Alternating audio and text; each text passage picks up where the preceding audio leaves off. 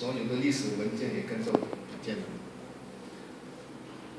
后来在李延年先生号召之下，重新建构，就是现在你还看到那个安邦路那小学。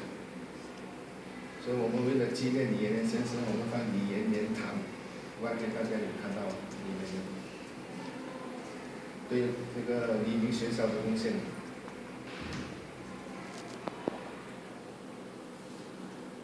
呃，后来我们接到政府通知说，黎明学校那个校址，安邦校址不适合做学校，因为受到教育之后，我们就开始张讨搬找地方，会搬到这边来。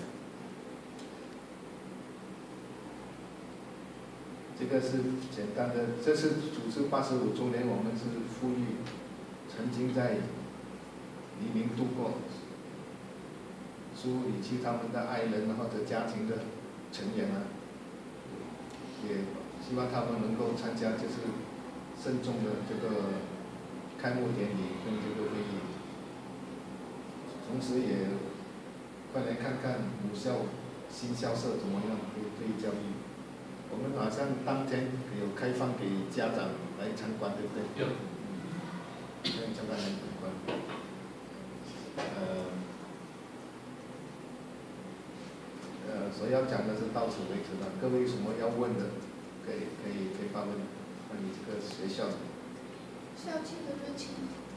校庆日期是呃十月二十五号，十月二十五号。哦，我们我们这次的校庆日是十月二十七日，还是为了配合这个周六周来的时间，周末，我们放在十月二十五日庆祝。几点呢？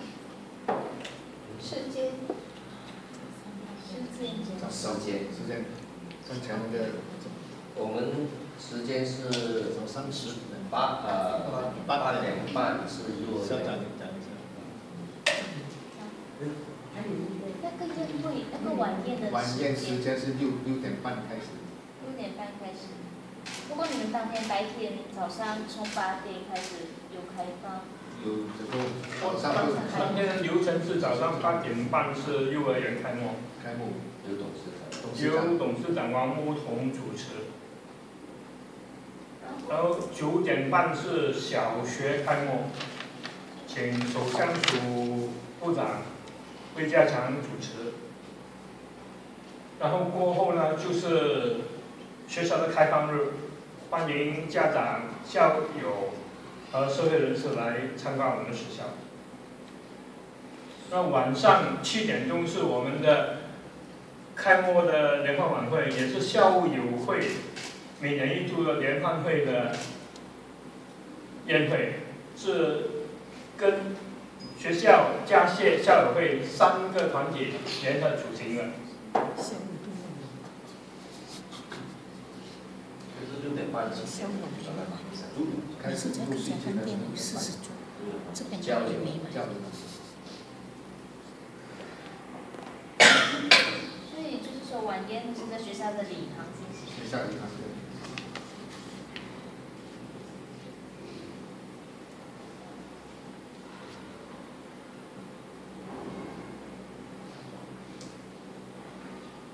晚宴就是在我们延年大礼堂举行。延开一百席，每桌的餐券是八百元。每桌每桌八百。一桌是十个人。要购买的话有联络号码吗？严副校长。啊，联络啊我。啊，有联联络号。零一二。零一二。六八一八。六八一八。一五六，一五六，或者学校的号码，八八九三四。七七一九，八九三四七七一九，呃，那个零一二的号码找那个是我的，严美兰副校长，严美兰副校长，严美美丽的美，美丽的美，副校长，颜色的颜。我们晚宴当天会都是由我们学校老师、学生，然后一些是我们校友来呈现。到时候我们也希望呃各方记者也邀请你们过来，好吗？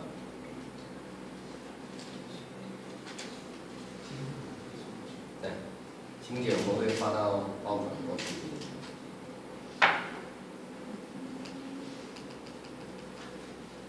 我再补充一下刚才林主席所说的，我们这次五十从一九五四到今天迁校，正好六十年，也加十年。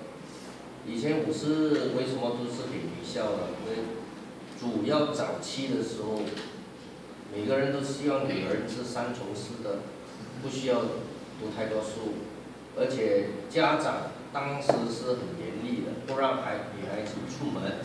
出去外面随便认识人，所以当时我们搬迁前就为了解决这个问题，所以特别就设立了这个黎明学校，就是方便一些家长他们思想太封建了，让他们的女儿能够有机会出来去啊求学。当然过后呃，随着时代的改变，大家都开放了，啊就成为一个综合学校。所以今天你们看到我们学校外面的名字，其实已经改了，就是黎明学校，就没有了那个学校的名字。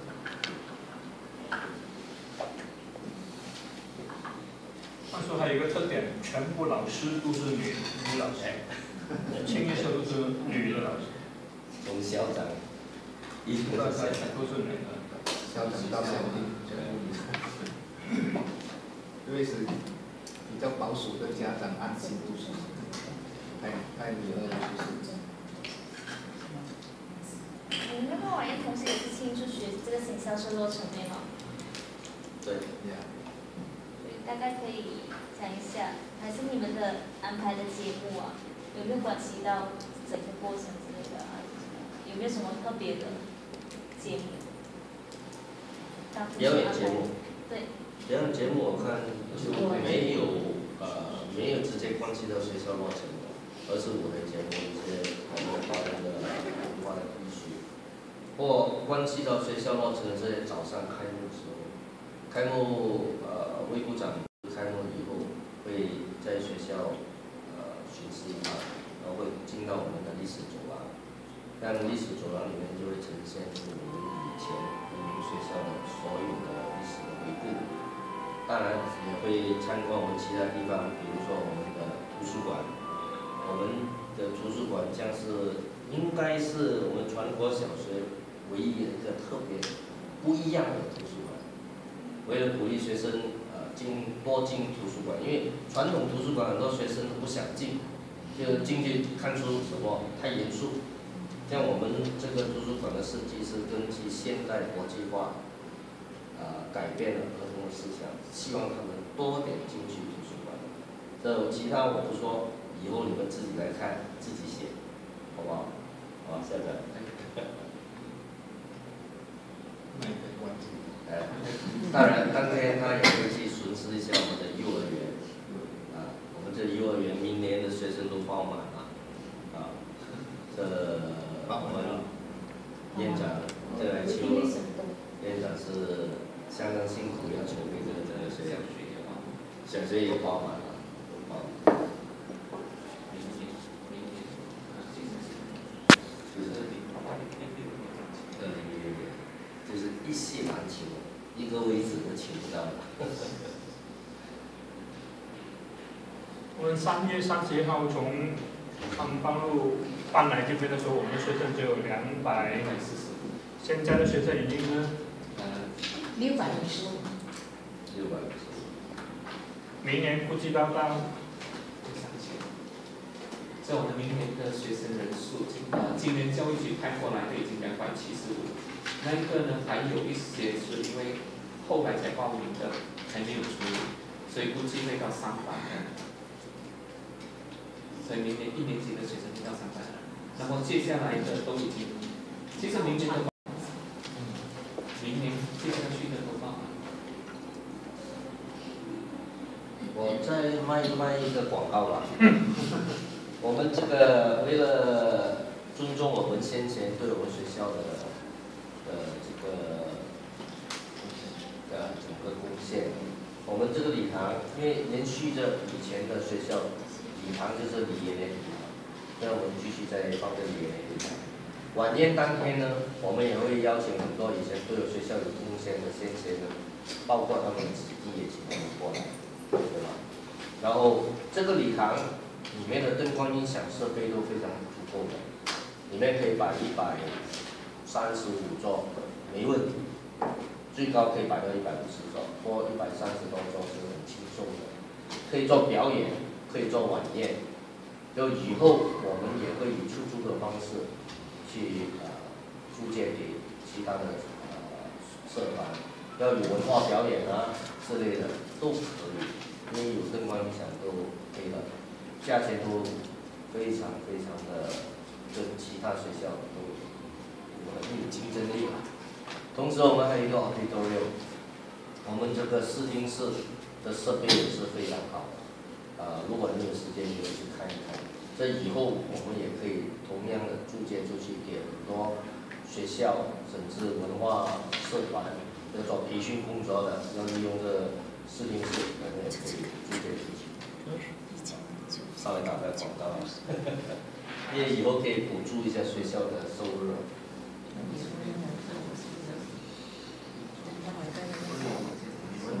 学校还有什么跟软硬设备有个提升？有没有在那个晚宴上筹款？啊，讲到筹款事情，我们这次从建从买地建校到现在，没有向公众人士筹一块钱，全部由董事部出。所以当晚也不会有一个筹款环节。不会，不会。也表现出当年一九二九年办校那种精神，全部也是那时候是全部董事部出奉献社会，奉献社会，主要是学华文跟文化。刚才你所问的那个软硬件呢，现在我们学校上课全部都是以数码化，呃，数码化电脑来上课，就包括明年新的班都全部都会以数码化来教学。